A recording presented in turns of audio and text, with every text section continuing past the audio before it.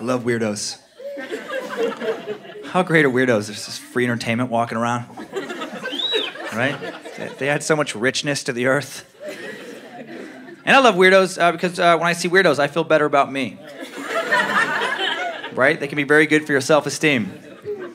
Right? Like I live in Santa Monica. And sometimes it's, uh, it's tough to be around so many successful, very wealthy, beautiful people, and I don't feel good about myself. And so I go to the Venice Beach Boardwalk. And I walk amongst the street performers and the junkies and the complete social burnouts, and I feel like a god amongst men. Guys, people like the Magic Stick guy. If you've never been to the Venice Beach Boardwalk, it's like a flea market slash insane asylum. It's the weirdest people you've ever seen selling the worst business products imaginable. Like the, the I can't believe they're real. Like the Magic Stick guy. I guess this guy's been doing this for over 10 years. He shows up every day and he sets up a little booth for his commerce. And he shows up. He has a whole like outfit. He has a big black top hat and black makeup and a black outfit. And he and he has a sign that says Magic Sticks, ten dollars each.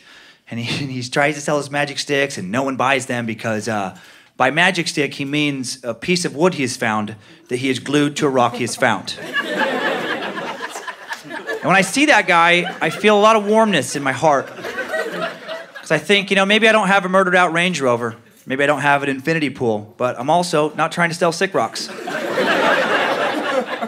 that feels pretty damn good, you guys. I also see that guy and I think about all the fun I could have with that special world he's created. Like how I could do jokes that would only just work for his reality. Like this would be mean, but how funny would this be if next week I showed up in the booth directly next door to him? Right? He's been trying to do that for 10 years. Suddenly I show up wearing a bigger black top hat. I also have black makeup. I'm dressed all in black. I have my own sign, more magical sticks. 9.99. I got a pile of bigger sticks glued to bigger rocks. I have a bunch of friends line up and buy one after another, after another, after another, and then I just watch his mind implode. As he thinks for over a decade, he was a penny and a bigger stick away from financial success.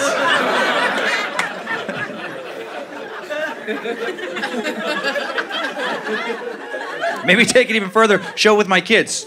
I show it with my two kids, be so excited, like, oh my God, we love magic so much. We can't wait to go try this out. Thank you so much, Mr. Magic Stick. And then we scamper off, and then I show up like an hour later without my kids, emotionally devastated.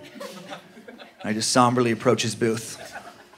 And I take two like small gerbils or lizards out of my pocket. Set those on the desk in front of him. Shh, shh, I'm gonna fix this. Just take out a gun, just casually start waving it around.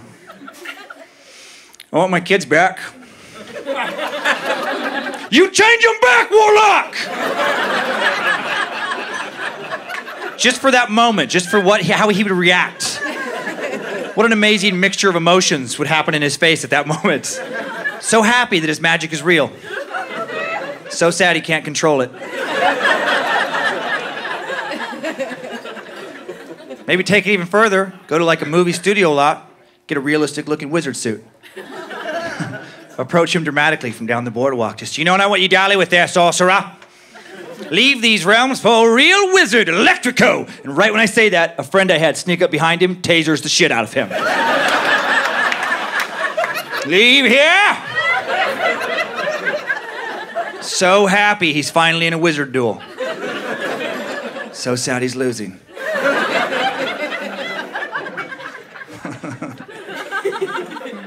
I could have another friend videotape that, so if the police arrest me for assault, I show them the footage and they let me go for being pretty goddamn clever.